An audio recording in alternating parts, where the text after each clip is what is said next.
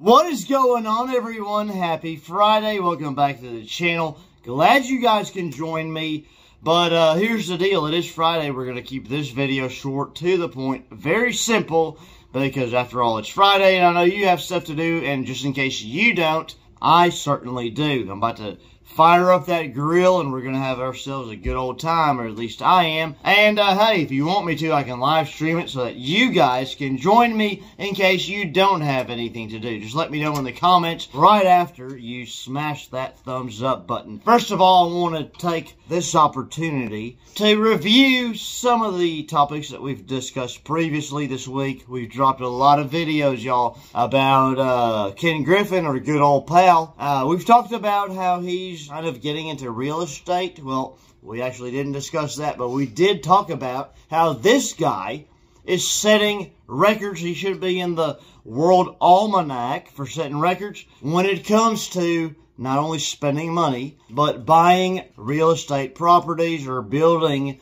uh, houses, right? Homes. So this guy previously set the record on uh, the most expensive home in the U.S and just did it again, or he's doing, he's in the process of doing it again. This time he's spending almost twice as much. Wow, what a guy. Glad to see that he's putting our money to good use. So Ken Griffin also sponsored, completely, well, paid for, sponsored, same freaking meaning, different words, right? So what else did we discuss this week? Well, we talked about Walt Disney. Well, actually, not Walt Disney. We talked about Disney World. And trips to Disney World, to be specific, because they're always fun, when you get to take 1,200 people and their entire families with you, including their extended families. I don't know if he's that rich. He most certainly is, Ken Griffin is. He sponsored this trip for his Asian Citadel employees. Wow. We also made a video talking about how King Griffin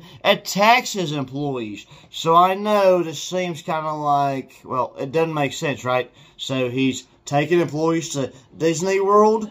Then he's also like attacking his employees. What the heck is going on? Well, let me tell you what's going on. If you're a good pet, Ken Griffin will pet you because that's all he needs you for. The emotional support. And you're just an emotional support animal if you're one of his employees or fans, followers, groupies, whatever you want to refer to yourself as.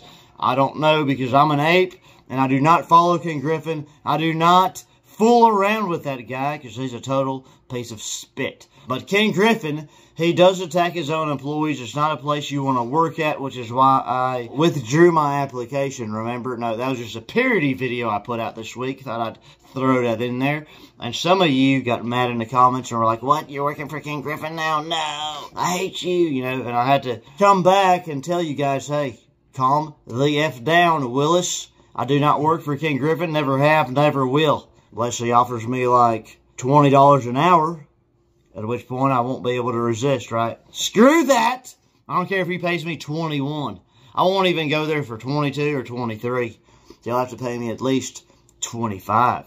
Back to the subject matter at hand. He attacked his employees and is apparently trying to file suit against them because they're doing something better with their lives. My gosh, they're improving their lifestyles. They're making more money than they did over here at Citadel. So now we must, uh, well, show them who's boss. Wants to be the boss so bad. Gosh, his money's enabling him allowing him to be the boss and uh, you know he wants to keep that title well he might be in cahoots with google which we know google owns youtube and yeah, there's another topic we must discuss very soon. I think that's going to come out either tomorrow or the next day because there's a lot of extra research I have to do because I'm not just going to report some, some BS to you guys, right? But yeah, I saw that. Some of you might know what I'm talking about. Some of you may not. So that's what we're going to get into. Uh, yeah, check your syllabus, man. We also talked about the IRS lawsuit. He's suing the IRS because they revealed that he actually pays almost not spit in taxes. He pays like 12% less than your average American that works at McDonald's. How in the heck is that possible? Well, it's because he influences policy. Now, you might be asking yourself, well, why is he coming back and repeating everything he said this entire week? I do this so that you always keep Ken Griffin in mind And specifically what I mean by that is so that you always remember Ken Griffin is evil. He is a bad guy. I don't want you to get fooled by uh, the persona that he portrays in the media because he's responsible for all of the articles, videos, everything that you read positive about King Griffin. Well, that's because he pays to uh, portray himself in that positive light. In that manner, we know better, we're smarter, we're dumb apes. Apes are dumb enough to be smart enough to realize when someone's bull s us. And that's exactly how we know that Ken Griffin is full of shit. Sorry for cussing. Somebody put a banana in my mouth. But peel it first because I do not eat the peel. It's not attractive and it does not taste good. I think we can pretty much wrap up this video, well, other than uh, the fact that I'm going to read you a new article because, you know, I hold Ken Griffin dear to my heart and everything he's involved in is important to me because it's extremely important. Keep your friends close keep your enemies even closer. Sounds good to me, man. I think that's what I'm going to run with. Now, it's time for me to read you an article very quickly. I found this article extremely interesting because it has to do with all of this real estate stuff that Ken Griffin has been involved in lately. I want to get to the bottom of it. We definitely need to dig deeper, do some more research, but I think this article is worth well, me reading to you on my channel, you ain't got to read it. All you got to do is listen while I read it to you. So just sit back, relax, uh, and put your headphones in, Jacks, because I'm fixing to read it to you. A-Rod winning. Citadel's Ken Griffin buys Miami property back from former Yankee for a whopping $45 million. You might be asking yourself right now, what the heck is A-Rod? Well, if you don't watch baseball like me, and this kind of initially this did confuse me because I'm like, A-Rod, what the heck? What are they talking about? So A-Rod is Alex Rodriguez. Apparently, he's a baseball player. Uh, of course, that's how he came up with the money to be able to exchange properties with uh, our buddy Ken Griffin. So getting back to the article, the hedge fund billionaire clearly wanted his Star Island home back after selling it to Rodriguez for $18.5 million last year and also an adjacent property that was included with it. Looks like hedge fund billionaire Ken Griffin keeps changing his mind. The Citadel CEO bought a lot at 14 Star Island Drive in Miami in 2020 for $24 million. Keep that number in mind, by the way. Before selling it to former Yankees player Alex Rodriguez last year for $18.5 million. dollars. I'm pretty sure he's already taken a loss of like, what, 5.5 million right there. Now, Griffin has bought back the property. Amazing. Dropping $45.5 million on it. So let me get this straight. Ken Griffin, you big old billionaire, you already took a $5 million loss when you sold this property to this Yankees man, this Yankees player, A-Rod, because you bought it for, I'm sorry, over $24 million. You sold it to him for 18.5. Now you're buying it back for, what's that, 45.5? Somebody quickly get out a calculator, do all the math on that, and tell me exactly how much money Ken Griffin's lost because this is kind of what I live for. I live for seeing, watching Ken Griffin lose money. Millions of dollars. I'd actually like to see him lose billions of dollars of our money. I'd actually like him to pay it back to us, to me, because dude, I'm doing kind of bad, man.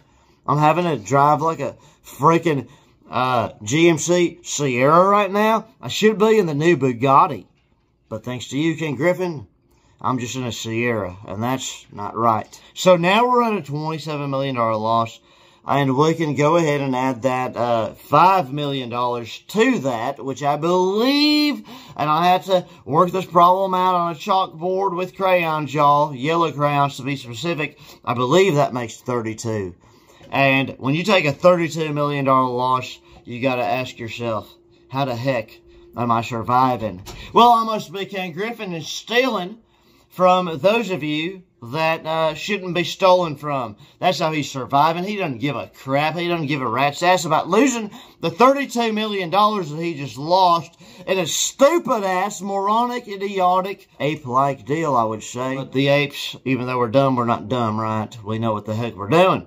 The reason he lost $32 million is because he doesn't give a crap. He didn't have to earn that money, okay? Easy come, easy go. So, when he gets this money easily by stealing it from us, he also lets it go extremely easily. Getting right back on track, the move is part of a larger goal for Griffin, who owns some of the most expensive properties in the country and is building a real estate empire in Florida. As part of last year's $18.5 million deal with A-Rod, the former All-Star baseball shortstop that turned into a real estate investor and also threw in the adjacent lot at 13 Star Island Drive, which Griffin remains in control of. Rodriguez, and get this, dude, guess guess who else is involved in this? Now if you're like a baseball fan or something you might have already known this known this known this. J-lo dude what the heck? Can you believe it? J-lo and a-rod. Now i didn't know they were a thing. I don't still don't know if they are a thing but if they are still blows my mind that ken griffin is like hanging out with j-lo or making business deals with her and A-Rod? Wow. So Rodriguez and Jennifer Lopez paid $32.5 million for that property at the time. This property was located on Star Island, and uh, Griffin has spent hundreds of millions of dollars acquiring a series of lots. Wow, spanning nearly 6.5 acres. Now, let me tell you what I would do if I had 6.5 acres. I would build the biggest and mightiest trailer park of all. But King Griffin apparently has uh, different ideas for. it. So tell me what you guys think about all of this. Tell me how in the heck I missed that J-Lo and uh, this A-Rod dude and also King Griffin are somehow, somehow like, you know, hanging out together. Like, does Puff Daddy know about this? Somebody please leave an answer in the comments because I'm dying to find out. Anyhow, see you guys later. Happy Friday. See you on Saturday.